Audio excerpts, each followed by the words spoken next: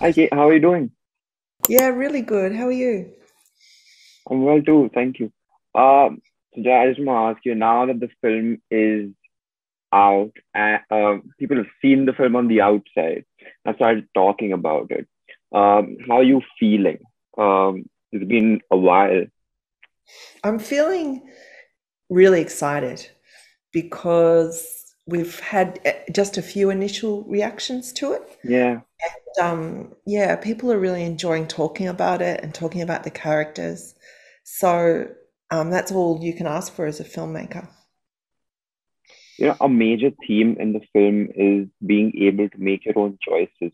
Now, as a filmmaker, I want to ask you, what was that one thing, one choice or decision that you made while making Black Widow that represents you as a director uh, the best? That I wanted to get under her skin, that I wanted it to be really intimate with her and to see her alone because she's always um, shown in other films um, as in relation to another character often. You don't often see her just as a person.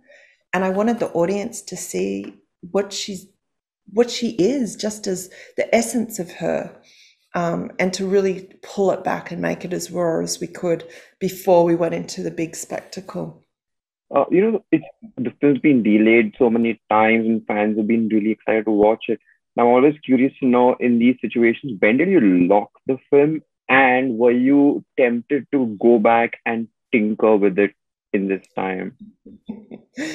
we locked it, I think, a year ago or more. Um, and of course, you're tempted. Like I was, I was hearing about the Eternals. I was hearing about Chloe, and I was like, oh, you know, because I think she's an incredible filmmaker. So yeah, you're always yeah. tempted to go back and and to you know tinker with stuff, but no, we didn't.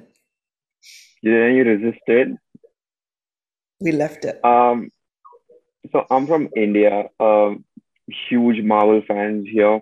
Uh, is there a message you have for Indian Black Widow fans? I think my message would be that the film is universal. So we have widows from all over the world. And um, I hope that um, young people, young women, especially in India, are inspired by the film. Okay, thank you for doing this. Uh, it was really nice talking to you. All the best and congrats on the film. I like your little artwork. Oh yeah, thanks, Karen Hobbs. it's cool. Thank you. Thanks. Bye.